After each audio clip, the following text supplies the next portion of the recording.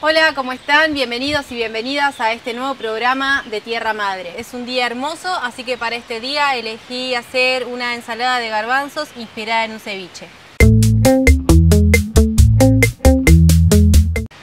Para eso necesitamos eh, garbanzos que en este momento están cocidos, explicándoles cómo hay que cocinarlos. Les puedo decir que primero tienen que tener 12 horas de hidratación, o sea, dejarlos durante toda la noche en agua cambiarles el agua de cocción y después hervirlos desde agua fría. Es ideal usar algas o tomillo para poder disolver la pielcita que tiene alrededor el garbanzo y entonces así que no caiga mal. Tenemos la cebolla de verdeo que está separada, la parte verde, la parte blanca de la cebolla de verdeo, cebolla común, tomates cherry, perejil eh, y por allá tenemos los verdes que van a acompañar la ensalada, además de mandioca, batata y remolacha para darle un poco de color. Vamos a agarrar una cebolla, la pelamos. Lo ideal siempre es lavar las cebollas antes de cortarla, pero como en este caso la vamos a comer cruda, eh, la podemos poner en, en agua hirviendo una vez que la cortamos y de esa manera ya se limpia. En este caso, la ensalada tiene proteína, que viene del garbanzo. Además tiene hidratos de carbono, que viene de los tubérculos, que son la mandioca, la batata, la remolacha también. Aparte tiene su ingrediente verde y crudo y todo eso hace que sea eh, como un plato bien completo y fresco para el calor que se viene. Cortamos la cebolla lo que se dice pluma, bien finita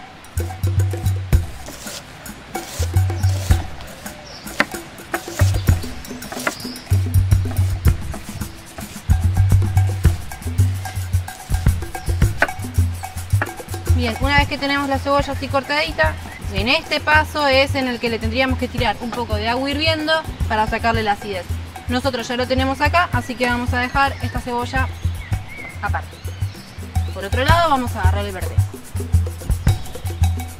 Dos cebollitas de verde también, vamos a hacer así, está. ¿Por qué separamos la parte verde de la blanca? En este caso no es tan necesario porque eh, eh, la vamos a comer cruda. Pero cuando cocinamos la cebolla de verdeo, la parte blanca es la que más tarda en cocinarse.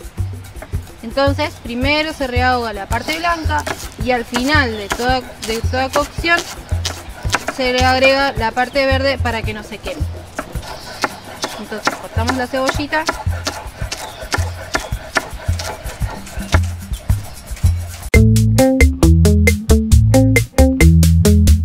Acá tengo un bowl que es eh, donde vamos a ir agregando todos los ingredientes de lo que vendría a ser el ceviche. Le vamos a poner, por ejemplo, la cebolla de verdeo, que yo acá ya tenía cortada. Ponemos la cebolla.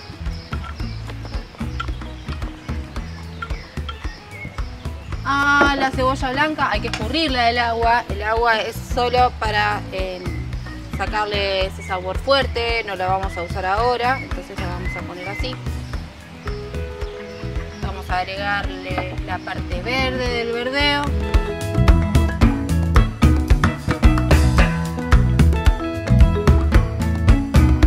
Le vamos a agregar obviamente los garbanzos.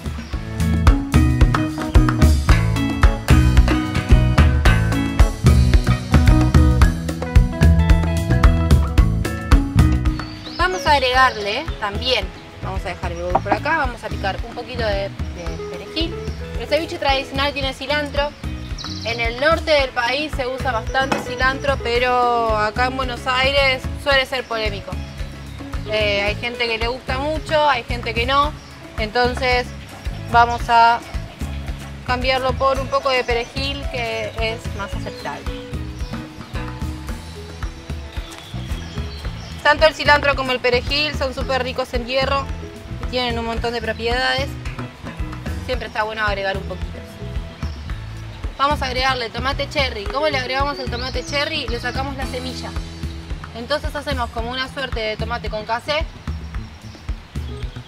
pero en miniatura. Vamos a cortarlo, vamos a sacarle la semilla.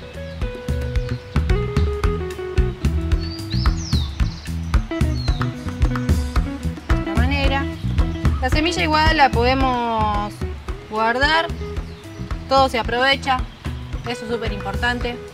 Siempre guardar lo que no sirve para una comida servirá para la siguiente.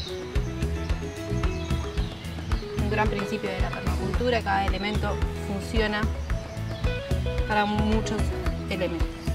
Los cortamos en cubitos y lo agregamos. ¿Qué más le podríamos agregar a esta ensalada? Le podríamos agregar maíz tostado, por ejemplo, para que le dé una crocancia. En alguna semilla, le podríamos agregar también algún fruto seco. Em, podemos reemplazar los garbanzos por alubias, por habas. Podríamos hacerlo también con lentejas para aquellas personas que eh, no están acostumbradas a, comer mucha legumbre y entonces tal vez lo mejor o lo más asimilable es la lenteja. También se puede hacer con cereales como quinoa, eh, mijo. Bueno, en definitiva esta es una base de ensalada para, para darles una idea y, y que después jueguen con la comida y dejen libre su imaginación. Una vez que tenemos cortados los tomates, los agregamos a nuestra ensalada. Y es el momento de condimentar. Para condimentar nuestra ensalada vamos a ponerle mostaza. A esto le vamos a agregar sal, pimienta, limón y lo vamos a mezclar. Y después de eso pasamos al emplatado. Entonces, vamos a agarrar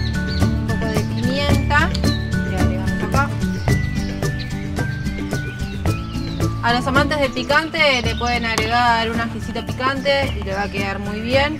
También se le podría poner un morroncito verde, no le quedaría nada mal. Lo que les diga su imaginación, va. Acá está la pimienta. Vamos a agregarle un poco de sal. Ahí estamos. Juguito de limón.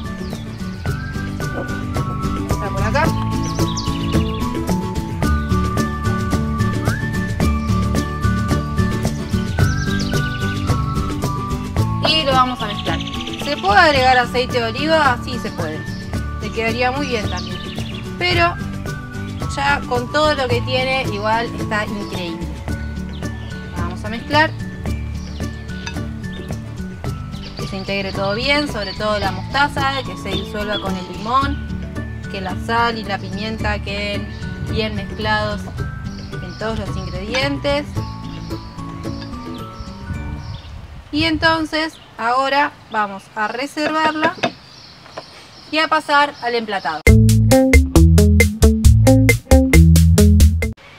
Muy bien, el ceviche tradicional es una marinada corta, Está bueno saber esto porque la idea del limón en el ceviche tradicional es cocinar el pescado.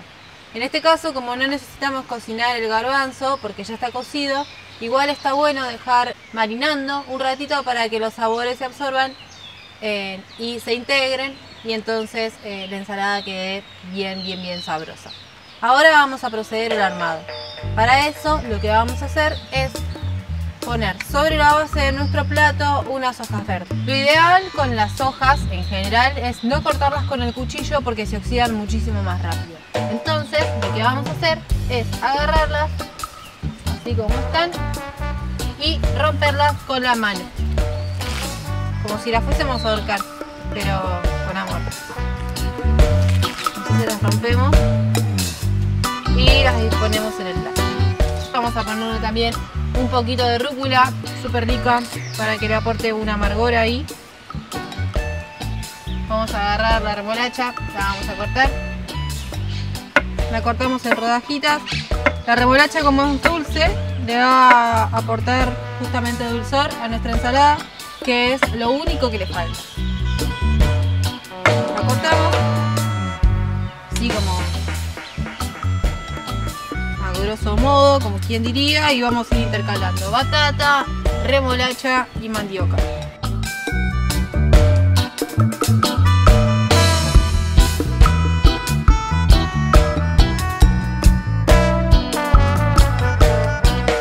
Para terminar con nuestra ensalada, entonces vamos a colocar el ceviche de garbanzos que estábamos haciendo sobre esta increíble base de verde con tubérculos.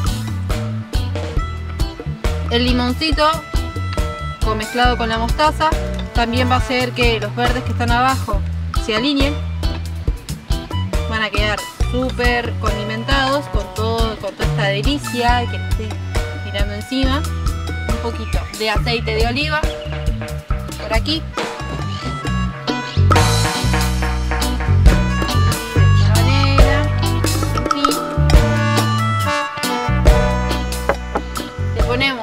Hojita de perejil por acá. Así.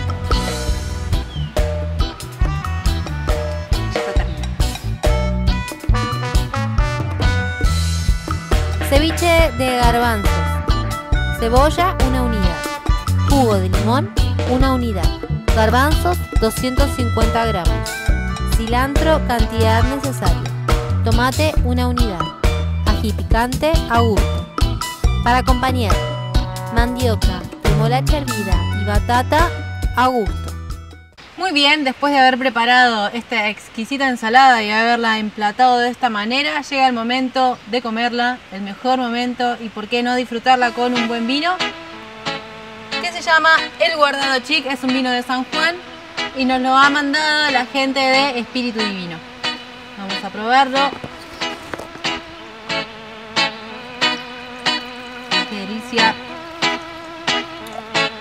Definitivamente el mejor momento de toda esta receta. Es un vino súper aromático, muy liviano.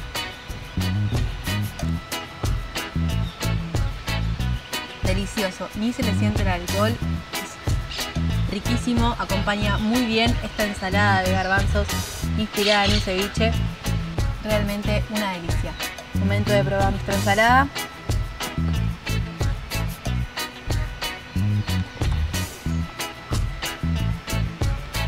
No se puede pelar. Una delicia. Se los recomiendo.